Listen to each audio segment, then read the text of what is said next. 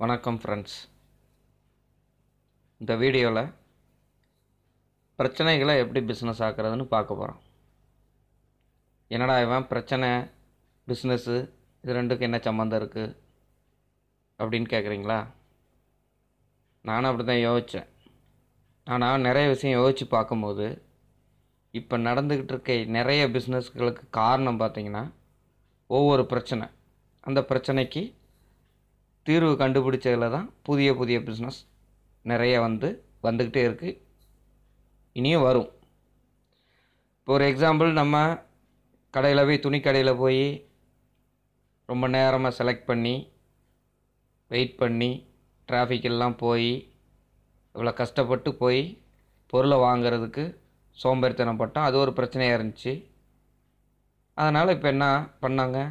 ஆன்லைனில் ஆர்டர் பண்ணி வாங்கிக்கிட்டு இருக்கோம். அதே மாதிரி இப்போ டிவிலலாம் ஒரு குறிப்பிட்ட டயத்துக்கு அந்த சீரியல் வருது. அதை பார்க்க முடியல. இப்போ பார்த்தீங்கன்னா யூடியூப்பில் அப்லோட் பண்ணிடுறானுங்க. யூடியூப்பில் வந்து நம்ம எப்போனாலும் பார்த்துக்கிறோம் அதே மாதிரி ஒரு குறிப்பிட்ட தூரத்தில் இருக்க ஒரு நபரை நேரில் போய் பார்த்து பேச முடியாது. அப்போ என்னாச்சு? Video call. முந்தைய காலத்தில் பார்த்தீங்கன்னா ஃப்ளாப்பி டிஸ்கில் வந்து நம்ம டேட்டாவை ஸ்டோர் பண்ணியிருந்தோம். அது என்ன ஒரு one point four four MB இருந்தது. அதில் பார்த்தீங்கன்னா இப்போ உள்ளது ஒரு பாட்டு கூட நம்ம ஸ்டோர் பண்ண முடியாது. ஒரு வேர்டு ஃபைலு அந்த மாதிரி தான் சேவ் பண்ண முடியும். ஆனால் இன்றைக்கி பார்த்தீங்கன்னா ஹார்ட் டிஸ்க்கு கெப்பாசிட்டிலாம் ஒன் டிபி அதுக்கு மேலே நிறைய போயிடுச்சு அதே மாதிரி மாவு அரைக்க ரொம்ப கஷ்டப்பட்டாங்க இல்லத்தரசிகள்லாம். இப்போ ரெடிமேடு மாவு கிடைக்கி. ஸோ இந்த மாதிரி ஒவ்வொரு பிரச்சனைகளுக்கு அடுத்து தான் ஒரு பிஸ்னஸ் அதே மாதிரி பிரச்சனைகளை நம்ம பிஸ்னஸ் ஆக்குறது எப்படின்னு தான் இந்த வீடியோவில் பார்க்க போகிறோம் ஒரு எக்ஸாம்பிளுக்கு நான் சொல்கிறேன் நீங்கள் அதை எப்படி பிஸ்னஸாக மாற்றுறேன்னா உங்களை மாதிரியே அந்த பிரச்சனை ஒரு பத்து பேருக்கு இருக்குது ஒரு இருபது பேருக்கு இருக்குது நீங்கள் கேள்விப்படுறீங்க அப்படின்னா அது உங்களுக்கு ஒரு பிஸ்னஸ் வாய்ப்பு தான்.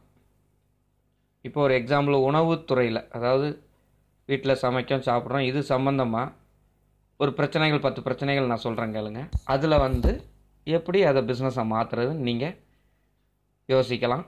இல்லை ஏதோ ஒன்று நான் வந்து சொல்கிறேன் இப்போ வீட்டில் குடும்பத்தில் ஒருத்தருக்கு உடம்பு சரியில்லை. சமைக்கணும். அப்போ என்ன சொல்லுவாங்க? உடம்பு சரியில்லை சமைக்க முடியலை. இது ஒரு பிரச்சனை.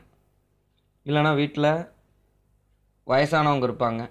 அவங்களுக்கு பார்த்திங்கன்னா தனியாக சமைக்கணும். கொஞ்சம் ஃபுட்டு காரம் கம்மியாக இருக்கணும். கொஞ்சம் ஹெல்த்தியாக இருக்கணும். அந்த மாதிரி. அதே மாதிரி குழந்தைக்கு பார்த்தீங்கன்னா அவங்களுக்கும் கொஞ்சம் ஹெல்த்தியாக சமைக்கணும். ஃபுட்டு காரம் கொஞ்சம் கம்மியாக அந்த மாதிரி அது ஒரு பிரச்சனை இருக்குது வேலைக்கு போகிறதுனால டைம் இல்லை. சாப்பாடு சமைக்க சம் டைம் கிடைக்கல. அப்படின்னு அது ஒரு பிரச்சனை. சில ஆளுகளுக்கு சமையல் சுட்டு போட்டாலும் வராது. எனக்கு சமைக்கவே தெரியாது அப்படின்னு சொல்கிறாங்க அது ஒரு பிரச்சனை. சில ஆளுகளுக்கு நான்வெஜ்னாவே அலர்ஜி நான்வெஜ் சமைக்க தெரியாது. இது ஒரு பிரச்சனை. அப்புறம் நான்வெஜ் வீட்டுக்காரர் நல்லா சாப்பிடுவார். ஆனால் எனக்கு சுத்தமாக சமைக்க தெரியாது பிடிக்காது அப்படின்னு சொல்கிறது அப்புறம் சிறுதானியங்கள்லாம் வந்து உடம்புக்கு ரொம்ப நல்லது. ஆனால் சிறுதானியம் மொத்தம் எத்தனை இருக்குது நான் நான் பார்த்ததில்ல. ஒரு ஒன்று ரெண்டு பார்த்துருப்பேன். இந்த மாதிரி இது ஒரு பிரச்சனை. சத்தான ஆகாரங்கள் கிடைக்காம இருக்குது அது ஒரு பிரச்சனைகள். அப்புறம் வெளியூருக்கு வேலைக்கு போகிற பேச்சுலர் வீட்டு சாப்பாடு கிடைக்கல. ஹோட்டலில் சாப்பிட்டு சாப்பிட்டு நாக்கே செத்து போச்சு அப்படின்னு கமாண்ட் அடிப்பாங்க. அது ஒரு பிரச்சனை. அதுக்கப்புறம் இப்போ வீட்டு சாப்பாடு தாரேன் அப்படின்னு சொல்லி ஆர்டர் எடுத்துகிட்டு போகிறவங்களும் அங்கே ஹோட்டலில் சமைக்கிற மாதிரியே சமைச்சு நம்மளுக்கு சர்வீஸ் பண்ணி கொடுத்துட்றாங்க அது ஒரு பிரச்சனை. நார்த்துலேருந்து இங்கே வந்த ஆளுகளுக்கு நார்த் இண்டியன் ஃபுட்டு கிடைக்கல. அப்படி ஒரு பிரச்சனை இருக்குது அப்புறம் கொஞ்சம் வயசாகிடுச்சுன்னா எனக்கு சமைக்கக்குள்ளே போதும் போதும் ஆயிடுது இல்லை வீட்டில் வந்து சிக்கனோ மட்டனோ ஆசைப்பட்றாங்கன்னா ஒரே ஆள் எல்லா வேலையும் எவ்வளோ எப்படி பார்க்குறது இவ்வளோ பிரச்சனைகள் இருக்குது ஸோ இதெல்லாம் நான் இப்போ என்ன சொன்னேன் அப்படின்னா சமையல் சாப்பாடு இது சம்மந்தப்பட்ட ஒரு பத்து பிரச்சனைகள் ஒரு பதினஞ்சு பிரச்சனைகள் உங்களுக்கு நான் சொல்லியிருக்கேன். ஸோ இந்த பிரச்சனைகளுக்கு தீர்வு கண்டிப்பாக இருக்குது இதே மாதிரி பிரச்சனை ஒரு பத்து பேருக்கு பதினஞ்சு பேருக்கு இல்லை. நிறைய பேருக்கே இருக்குது ஸோ அதுக்கு ஒரு தீர்வை நம்ம யோசிக்கோம். யோசித்தோம் அப்படின்னா அதுதான் பிஸ்னஸ் வாய்ப்பு. இப்போ ஒரு எக்ஸாம்பிள் உடம்பு முடியலை. சமைக்க முடியலை. இது ஒரு பிரச்சனை. ஸோ இதே மாதிரி இப்போ வந்து ஒரு ஊரில் வந்து நூறு வீடு இருக்குது இரநூறு வீடு இருக்குன்னா எப்படி ஓ உடம்பு சரியில்லாமல் போகிறது சகஜம்தான். அப்போ சமைக்க முடியாது அப்படின்னா அப்போ உடம்பு சரியில்லாதவங்களுக்கு என்ன தேவை? கஷாயம் தேவைப்படும். கஞ்சி தேவைப்படும். மசாலா சேர்க்காத சாப்பாடு தேவைப்படும். இட்லி தேவைப்படும். எங்கே போவாங்க? ஹோட்டலுக்கு தான் போவாங்க. அப்போது ஹோட்டலில் உடம்பு சரியில்லாதவங்களுக்கு கொடுக்குற அளவுக்கு காரம் உப்பு எல்லாம் வந்து தனித்தனியாலும் செய்ய மாட்டான். அவன் ஜென்ரலாக செய்வான்.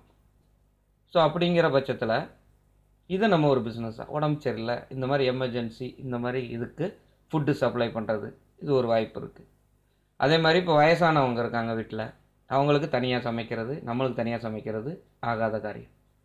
அப்படிங்கிற பட்சத்தில் வயசானவங்களுக்கு தனியாக நம்ம சப்ளை பண்ணுற மாதிரி ஆர்டர் எடுக்கலாம். இப்போ வயசானவங்க ஒரு ஊரில் நூ நூறு வீடு இருக்குன்னா கண்டிப்பாக ஒரு பத்து இருபது வீட்டில் வயசானவங்க இருப்பாங்க. அவங்களுக்கு காலையில் டிஃபன் இந்த வயசானவங்களுக்கு தகுந்த மாதிரி காரம் உப்பு எல்லாம் குறைச்சி அது ஆர்டர் எடுக்கலாம்.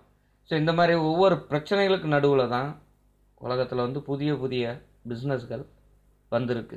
ஸோ ஃப்ரெண்ட்ஸ் பிரச்சனையில் தான் உங்களோட புதிய பிஸ்னஸ் ஐடியா இருக்குது ஸோ அதை நீங்கள் ஐடென்டிஃபை பண்ணுங்கள் நம்ம சேனலில் தொடர்ந்து நிறைய புதிய பிஸ்னஸ் ஐடியாக்கள் தொடர்ந்து தடப்புகிறோம் நம்ம சேனலை சப்ஸ்கிரைப் பண்ணிக்கிங்க.